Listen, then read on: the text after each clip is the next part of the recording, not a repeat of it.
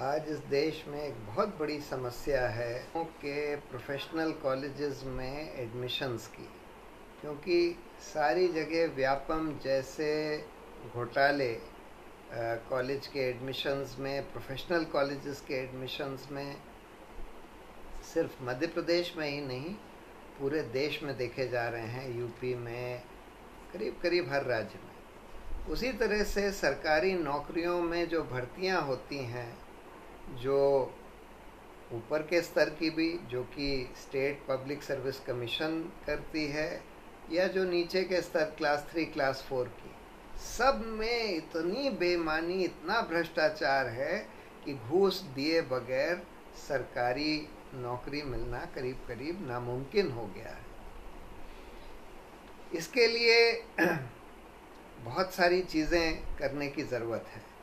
सबसे पहली बात तो ये जो एडमिशन्स का सिलसिला है प्रोफेशनल कॉलेजेस वगैरह में, उसमें पारदर्शिता लाने की ज़रूरत है। आजकल जो एग्ज़ाम लिया जाता है, जो पेपर होता है, वो भी सार्वजनिक नहीं किया जाता।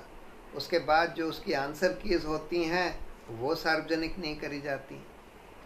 इंटरव्यूज़ के कई बार बहुत सारे मार्क्स दिए जाते हैं और इंटरव्यूज़ के मार्क्स बेमानी से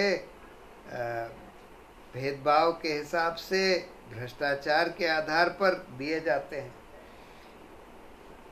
इस सबको सुधारने की ज़रूरत है इंटरव्यू के मार्क्स बहुत कम करने की ज़रूरत है, इसमें पूरी पारदर्शिता लाने की ज़रूरत है। जो ये संस्था हैं, जैसे व्यापम था मध्य प्रदेश में यूपी पब्लिक सर्विस कमीशन है, बाकी सारे स्टेट पब्लिक सर्विस कमीशंस हैं, इनकी नियुक्तियों में पारदर्शिता लाने की ज़रूरत है।